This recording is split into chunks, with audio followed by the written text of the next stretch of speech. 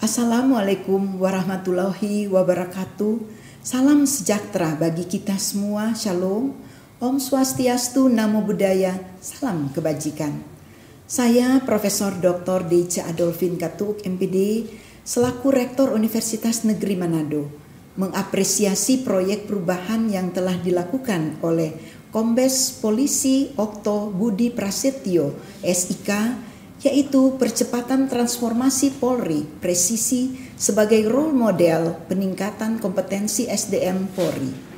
Proyek perubahan merupakan suatu pengembangan kolaborasi antar institusi dalam peningkatan kompetensi SDM Polri presisi yang pada akhirnya akan menjadikan kualitas anggota Polri di era transformasi digital untuk peningkatan pelayanan publik Semoga dengan proyek perubahan ini semakin terjadinya kerjasama yang efektif antar instansi Polri dengan Universitas Negeri Manado.